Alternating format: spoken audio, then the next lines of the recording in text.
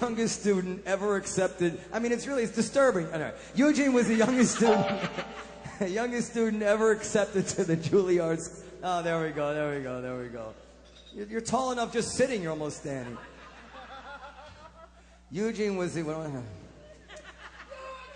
Eugene was the youngest student ever accepted to the Juilliard School of Music. The youngest one ever.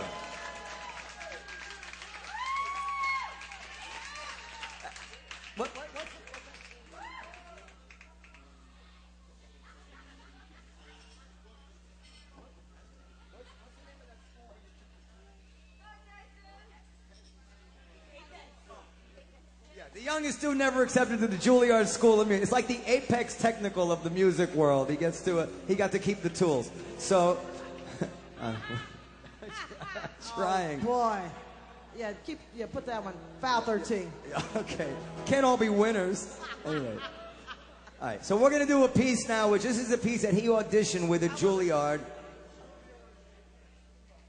Well, that was the joke, sir. That would be the joke. All right. Uh, okay, let me start over.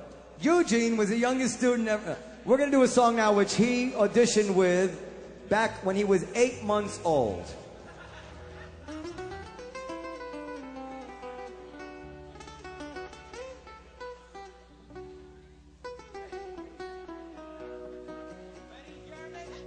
Ready, Eugene? One, two, three, four.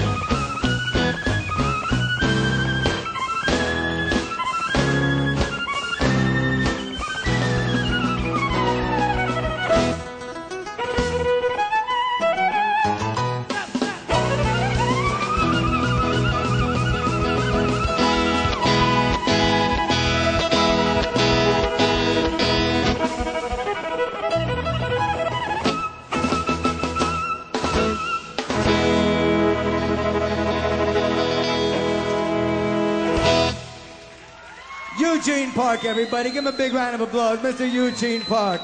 Give him a bigger round of applause than that, Mr. Eugene Park.